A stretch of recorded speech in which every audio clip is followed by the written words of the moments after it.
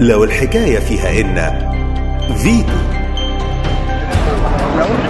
مصطفى إسماعيل خريج كليه دار علوم جامعه القاهره ولاد البنا بيضرب عليهم. أيوه طبعا. يا راجل! الحمله الأولانية.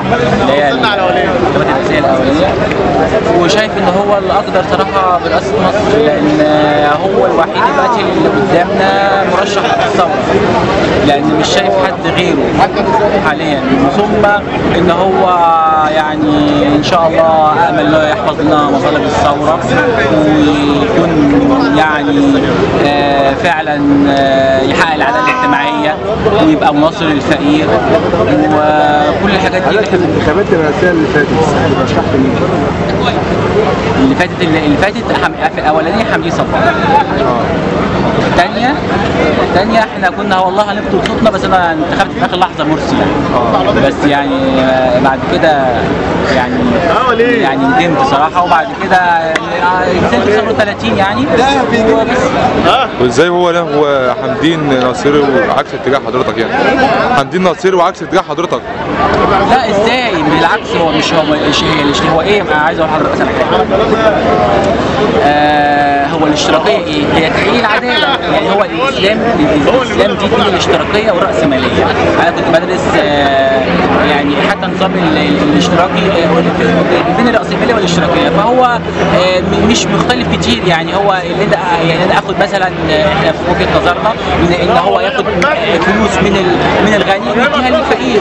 ده هو بالظبط مفهوم يعني مقارب جدا مفهوم الزكاة في الإسلام. إيه اللي اللي عجبك مثلا يا عم الجرعه ده ناس مفلسه اللي ورا اللي عجبك في اللي عاجبني زي ما زي ما بقول لحضرتك كده هو راجل أول حاجة بسيط.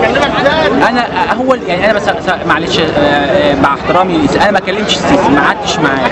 انما حمدي صباحي قعدت معاه وكلمت وكلمني وزائد كمان إن هو قال قال ح- وزائد كمان إن هو حضرتك في حاجة مهمة الناس مش واخدة بالها مش واخدة بالها منها إن حمدين صباحي آه، آه، آه، عنده فريق عمل قوي. يعني فريق عمل قوي. إنما السيسي مع لا سوري يعني عفوا ممكن يبقى معاه الفلول. يبقى معاه الفلول اللي هم فريق عمل قوي بالنسبة له. إنما إنما حمدي صباحي معاه الثوار ومعاه فريق عمل قوي. يعني هو حتى لو حمدي صباحي الناس اللي بتدعي ان هو ضعيف ان هو معاه فريق عمل قوي. فريق عمل قوي جدا كمان. معاه يعني الثوار كلهم. ومعاه زائد معاه كان- كمان يعني ال- الناس اللي يعني في اللي جميع المجالات البروفيشنال في جميع المجالات حضرتك؟ آه، تاني حاجة ان حمدي صباحي زي ما قلت لحضرتك بسيط ثالث حاجة ان هو بيهتم بالغلابه آه، هينصر هيحقق العداله هيحقق ال- ال- الكرامه الانسانيه آه، فهمتني حضرتك آه، وفي نفس الوقت مش ما ينتميش ما ينتميش للنظام السابق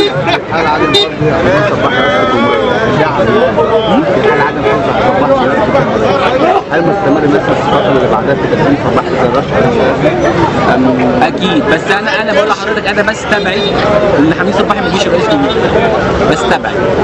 يعني ناس يعني عكس الناس اللي بتقول السيسي لا لا.